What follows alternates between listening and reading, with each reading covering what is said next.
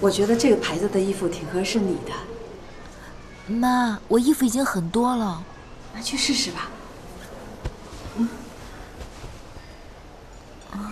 好。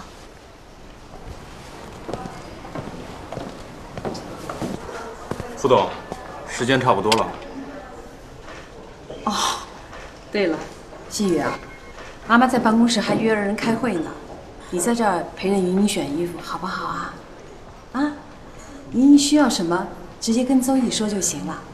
不是，妈，百货公司不是西雨的，没有花钱买是小偷，西雨不是小偷。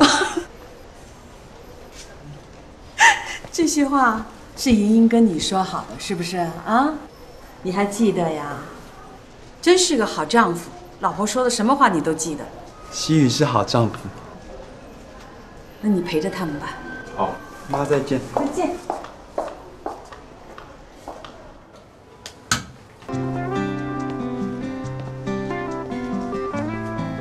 西雨，你累了？西雨不累，西雨陪徐护士逛街。可是徐护士逛累了，不然我们不要逛了，回家好不好？好，回家。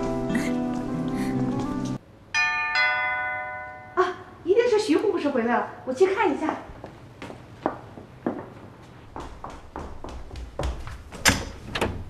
快来！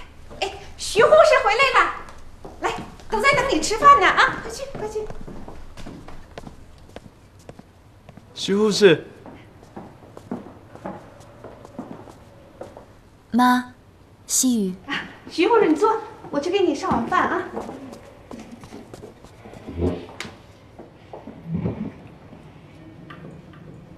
让你们两个出去逛个街吧。你居然能够把这个老公给逛丢了，这么晚回来，又是娘家有什么事儿吧？有个娘家亲戚的孩子。娘家亲戚孩子怎么了？没什么。你们都还没吃啊？他不动筷子，我哪敢吃啊？西雨，以后我要是晚回来，你就不要等我了。徐护士爱吃的菜，西雨留给徐护士。西雨，我再说一遍，以后晚回来可以，但是务必要给我打个电话。连悉尼这种自生自灭的野孩子，他都知道，他晚回来了，他一定要给他的妈妈打一个电话。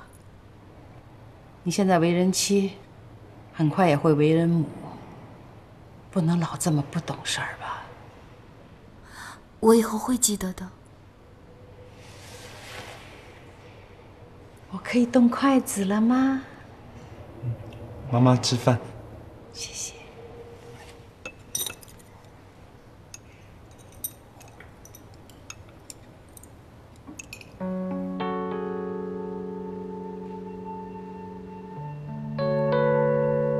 那下次阿姨帮你过好了。你生日是哪天呀？十二月四日。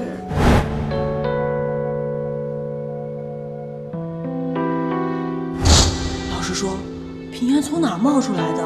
我也觉得很可疑呀、他妈呢也很少跟亲戚朋友来往，却莫名其妙把平安带回来，说是亲戚的孩子。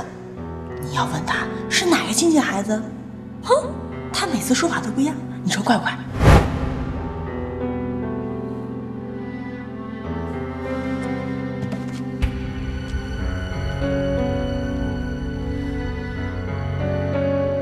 幸福里。